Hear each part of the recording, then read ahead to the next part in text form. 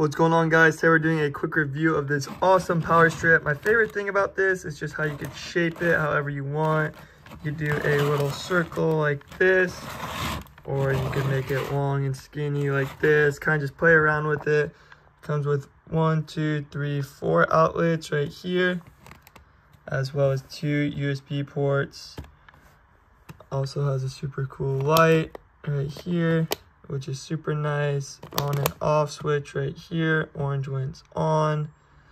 And this thing is just super cool. It's perfect for just under your bed if you have a lot of things. I like charging my laptop, have a lot of devices to charge. And this is just awesome. Super cool power strip. Looks amazing. Kind of just fit it anywhere. If you have like a tight spot, you can kind of just transform it and fit it wherever you want, which is super awesome. Absolutely love this super cool power strip.